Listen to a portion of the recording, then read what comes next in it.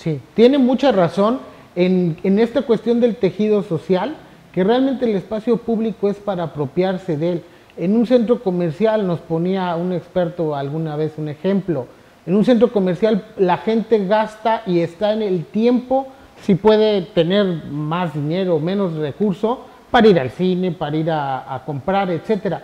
El espacio público es donde se construye ciudadanía y ese es un déficit de toda la sociedad moderna y especialmente lo estamos viendo en, en nuestro país y en algunas regiones, como bien comenta, porque ahí es donde se construyen los lazos de dos niños eh, o, o niñas que juegan fútbol o voleibol, de los abuelos contándole un cuento a los jóvenes, eh, se, se teje esa comunidad, ese arraigo que tanto igual comentan nuestros amigos, hace falta y yo coincido con usted en el diagnóstico. Nos falta rescatar esos espacios, nos falta construir comunidad y creo Sí, que la ¿y quién- llamada, ¿quién, quién, va a liderar ese rescate? pues yo me El apunto. Movimiento Usted me acaba de convencer actúe, el día pero de no hoy. solamente a Movimiento Ciudadano, ni al PRI, ni al PAN, ni a Morena, ni al PRD, ni a los satélites, uh, el verde menos.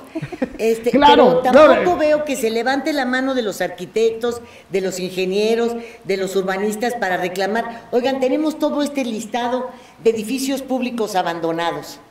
¿Qué les hacemos? Bueno, eh,